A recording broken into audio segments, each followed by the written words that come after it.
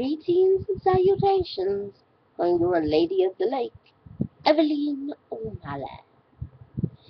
Eh, Today, or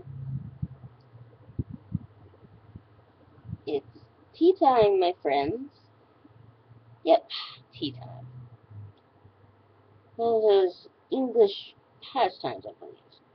However, and something little girls do, and dad just can't handle watching My Little Pony again. Anyways. Basically, these tea time sessions are going to be me talking about stuff. Just stuff that I didn't really think about before until now. And I tend to think tea is a very good way to help you think. Got caffeine, it has all the stuff that you need to, boom, wake you up. Huh.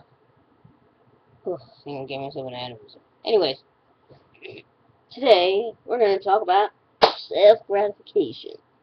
Yep, self-gratification. Huh. Pleasing oneself and desires. Which ultimately isn't a bad thing. I think pleasing yourself is a natural thing. We do it already. We use the restroom. That can be seen as self-gratification because guess what? You have to go physically, you know, you know, despite what we think, it feels good to use the restroom. And it feels, it's relieving. I, I know, I just put in toilet humor, so I should shut up. Anyways, um, we self-gratify ourselves breathing, eating, sleeping. You know, some people can't get on their feet if they haven't had at least eight hours, which is good. That's usually how much a person should sleep. Ironically, our cats and dogs do about the same thing. You know, most cats sleep about 60 hours, twice as long as normal human. Mind you, they do in little spurts here and there, every two hours. So, the 24 hours they would have fallen asleep. Sorry, I'm bad at math. Eh, but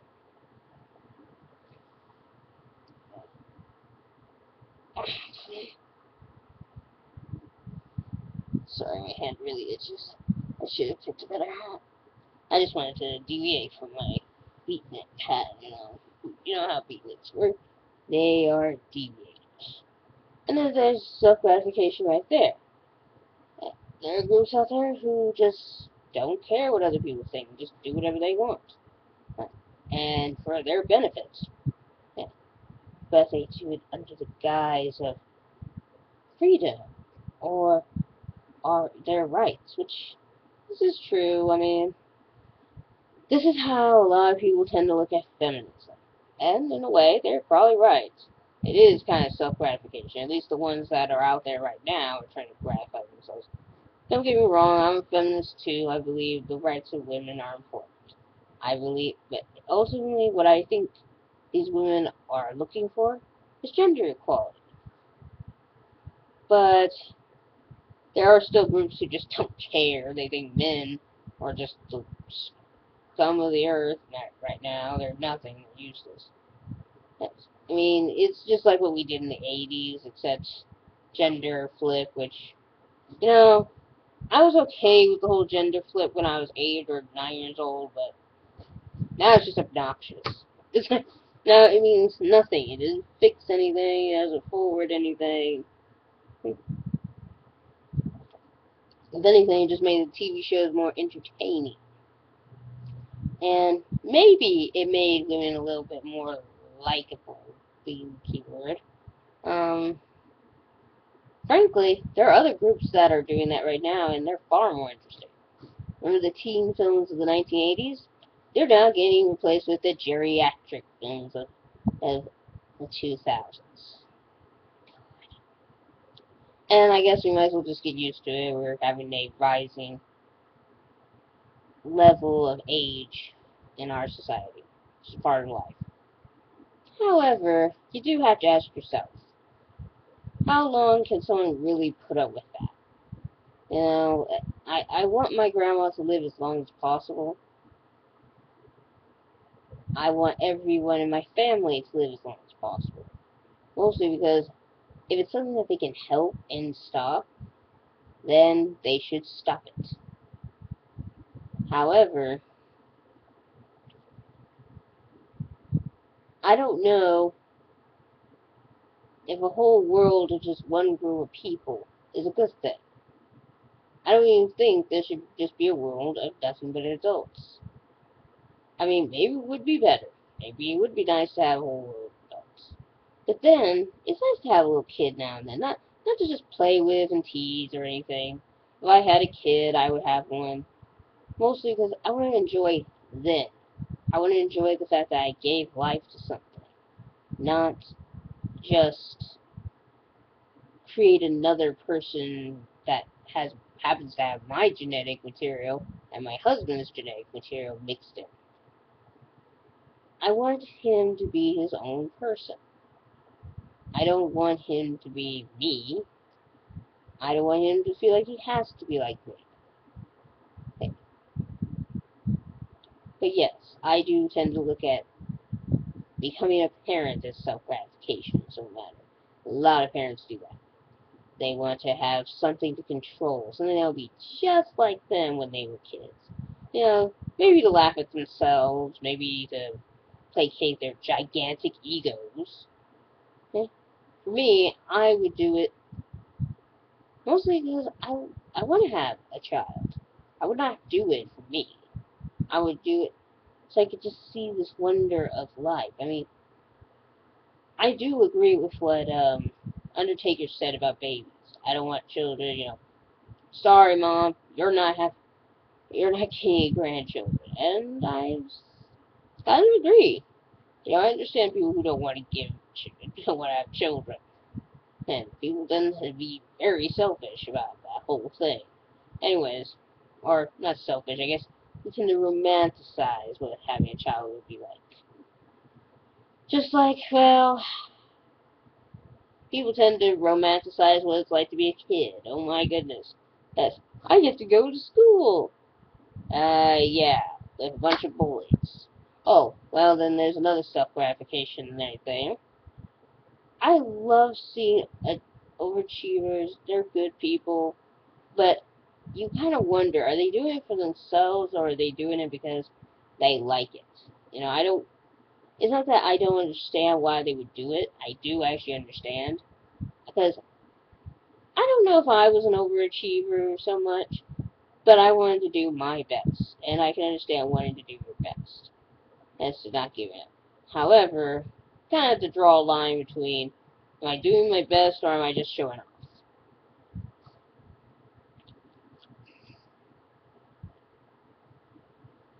However, Another would be marriage. Yeah, marriage can be seen as self-gratification. Ever watched Bridezillas? Oh my god. Self-gratification run, run a flip. It's all about the bride. All about the bride. And don't get me wrong, planning a wedding is difficult. I have not done it. I don't plan on doing it anytime soon. However, I still feel women should be respectful. It's not just for you, it's for the family too. You know, this is something, this is not your turn to relive your sweet 16. You know, I know a lot of women will do that. They want to relive that sweet 16 that they didn't get when they were kids. And I basically didn't have a Sweet 16. I wish I could have. I really think that would be awesome. Just like the ones on on MTV. However, I wouldn't put it on MTV to save my life. It'd be a very quiet Sweet 16. I think I would just want like what Molly Ringwald was. And I just wanted someone to notice me. I wanted people to realize, hey, I'm here and I'm alive.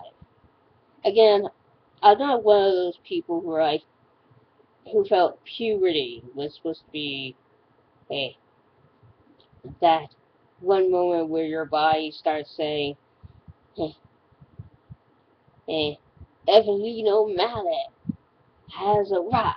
You know, I didn't feel that way. I felt pretty much what most teenagers feel. My god, my body's weird. Why does it do that? Why is it doing that? Why can't it stop doing that? Damn, he's fine. Oh. Yeah, really. It, it's doing all these crazy things. And, and another would be, I guess, another form of self-gratification is television overall. I mean, think about it. When I was growing up, we had nothing but these shows that would just please you. Oh, yes, it was awesome to see your parents go down on the floor, or see parents go down the floor, and not the not the good parents. I want all children want good parents. Screw that. You know, I I always loved watching movies when I was growing up because I always felt like they're doing the whole orphan thing. That's basically what they're doing. Is a stereotype for kids. You know, I'm sorry to say this, it is. A lot of children, considering we have no orphanages, okay, they're gone. They're no, they no longer exist yet. There I saw tons of movies that had orphanages. Oh my god. But, however, I don't hate or I tend to like those movies because this is something that children are looking for in their parents. They want them to be sweet and everything, and they do everything in their power to be as sweet as possible so they can have a nice little home, one to call their own. Another way we do self-gratification is, oh, yeah, I'm sorry, finish off with TV shows. Um, heck, we have shows like Wipeout now, where people fall down. Oh my goodness, people fall down. Uh, another would be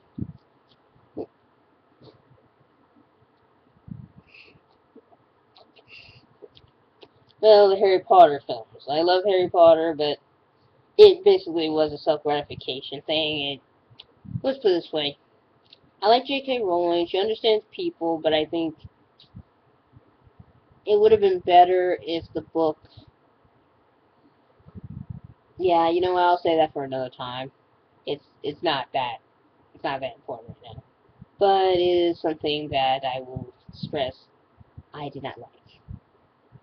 Anyways, I gotta go. Uh, anyways, this is Eveleen O'Malley. Okay, we'll go over and.